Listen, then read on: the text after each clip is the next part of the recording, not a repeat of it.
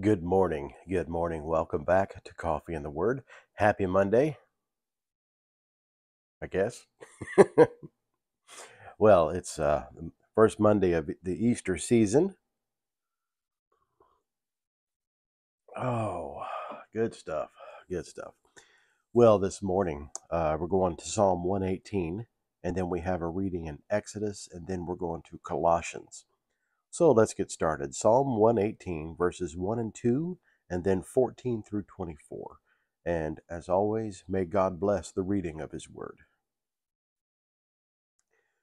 O give thanks to the Lord, for He is good, for His steadfast love endures forever. Let Israel say, His steadfast love endures forever. The Lord is my strength and my song. He has become my salvation. Glad songs of salvation are in the tents of the righteous. The right hand of the Lord does valiantly. The right hand of the Lord exalts. The right hand of the Lord does valiantly. I shall not die, but I shall live, and recount the deeds of the Lord. The Lord has disciplined me severely, but he has not given me over to death. Open to me the gates of righteousness, that I may enter through them, and give thanks to the Lord. This is the gate of the Lord. The righteous shall enter through it. I thank you that you have answered me and have become my salvation. The stone that the builders rejected has become the cornerstone. This is the Lord's doing. It is marvelous in our eyes. This is the day that the Lord has made. Let us rejoice and be glad in it. Amen. Amen. All right. Next, we're going to Exodus chapter 14, verses 10 through 31. And then we're going to go down to chapter 15, 20, and 21. So let's get started on that. Get a little coffee here. My throat is really dry this morning. Oh, good stuff. All right. When Pharaoh drew near, the people of Israel lifted up their eyes, and behold, the Egyptians were marching after them, and they feared greatly.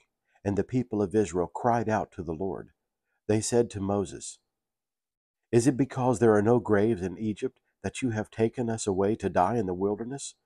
What have you done to us in bringing us out of Egypt? Is not this what we said to you in Egypt? Leave us, uh, leave us alone, that we may serve the Egyptians. For it would have been better for us to serve the Egyptians than to die in the wilderness.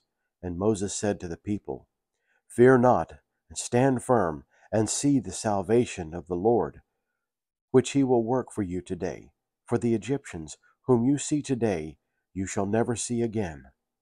The Lord will fight for you, and you have only to be silent. The Lord said to Moses, Why do you cry to me? Tell the people of Israel to go forward Lift up your staff, and stretch out your hand over the sea, and divide it, and the people of Israel may go through the sea on dry ground. And I will harden the hearts of the Egyptians, so that they shall go in after them. And I will get glory over Pharaoh and all his host, his chariots, and his horsemen. And the Egyptians shall know that I am the Lord, when I have gotten glory over Pharaoh, his chariots, and horsemen. Then the angel of God, who was going before the host of Israel, moved and went behind them, and the pillar of cloud moved uh, from before them and stood behind them, coming between the host of Egypt and the host of Israel. And there was a cloud, and, and there was the cloud and the darkness, and it lit up the night, without one coming near the, the other all night. Then Moses stretched out his hand over the sea, and the Lord drove the sea back by a strong east wind all night, and made the sea dry land, and the waters were divided. And the people of Israel went into the midst of the sea on dry ground, the waters being a wall to them on their right hand and on their left. The Egyptians pursued and went in after them into the midst of the sea, all Pharaoh's horses, his chariots, and his horsemen. And in the morning watched the Lord in the pillar of fire. And a cloud looked down on the Egyptians' uh, forces and threw the Egyptian forces into a panic, clogging their chariot wheels so that they drove heavily. And the Egyptians said, Let us free, flee from before Israel, for the Lord fights for them against the Egyptians. Then the Lord said to Moses, Stretch out your hand over the sea, that the water may come back upon the Egyptians, upon their chariots, and upon their horsemen. So Moses stretched out his hand over the sea, and the sea returned to its normal course when the morning appeared. And as the Egyptians fled into it, the Lord threw the Egyptians into the midst of the sea. The waters returned and covered the chariots and the horsemen, and all the host of Pharaoh that had followed them into the sea, not one of them remained.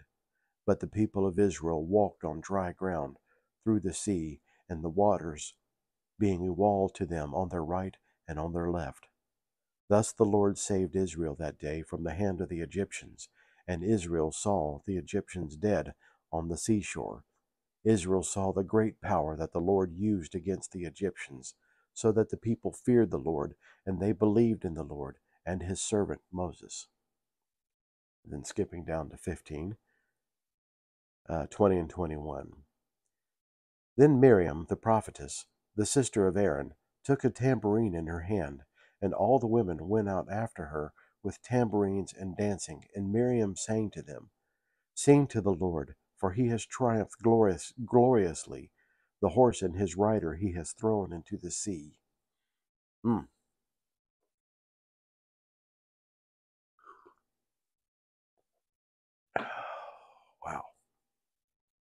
It's always a great story to read, you know. All right, uh, the uh, the epistle lesson this morning, going to Colossians chapter 3, verses 5 through 11. Put to death, therefore, what is earthly in you sexual immorality, impurity, passion, evil desire, and covetousness, which is idolatry. On account of these, the wrath of God is coming. In these you too once walked, when you were living in them.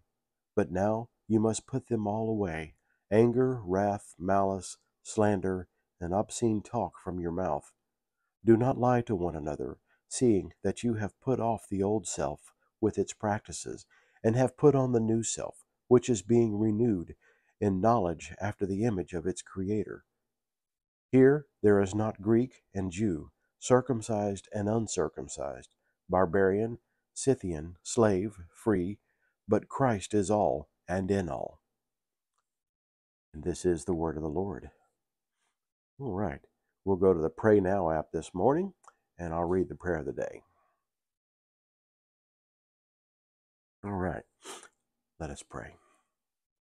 O God, in the Paschal feast you restore all creation.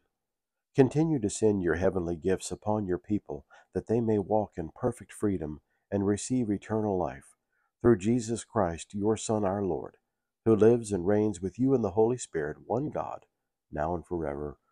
Amen. All right. Well, I hope and pray that you all have an awesome day. Have a great week uh, as we all go back to work this morning. so, with that, be safe, be happy, be blessed. We'll see you tomorrow on Coffee and the Word. God bless.